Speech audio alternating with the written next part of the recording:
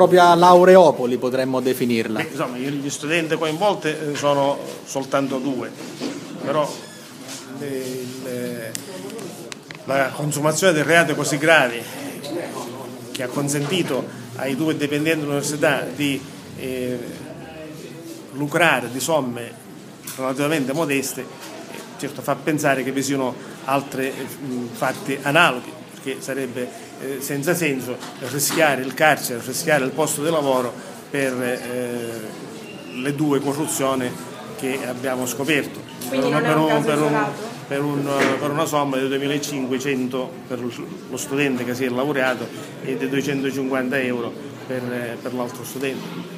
Quali sono i reati contestati? C'è la, la, il falso, la corruzione, l'accesso abusivo ai sistemi informatici. Quanto costava una laurea? Un, un, il giovane che si è laureato ha, eh, ha pagato, come dicevo prima, 2.500 euro. Però alcuni esami li aveva sostenuti realmente. Ci sono ancora altre indagini? Ci sono ancora altre indagini. Perché non è un caso isolato?